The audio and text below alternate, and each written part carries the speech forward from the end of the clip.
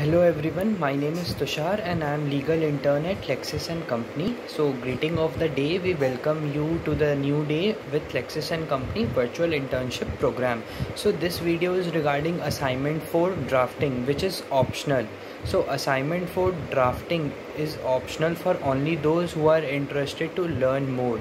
So in this assignment uh, you have to prepare a notice or a police complaint or a draft a petition on any types of imaginary legal situation or a judgment writing case analysis or a common question asked by the client on the topic of your choice between 500 to 1000 words after writing the article you are requested to kindly post the same article on our website lexcliq.com along with the name in the subject line and the bottom of your article so uh, format of this is like uh, title uh, name of the article by name of the candidate at LexCliq. So after posting the article on the website, you are requested to kindly submit the URL of the article in your respective group along with the name of the topic, URL of the website and the date of the assignment in the below mentioned format.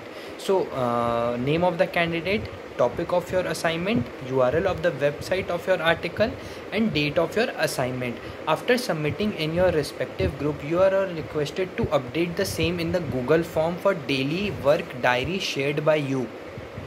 Any candidate not fulfilling all the above mentioned parameters and step will result in rejection their assignment for that day and hence we will be marked absent. So if you guys have any question regarding these please feel free to contact us in your respective group in regarding to any questions or queries you might have in regarding to the assignment. Thank you so much. Regard from the support and Lex, uh, support team of lexis and company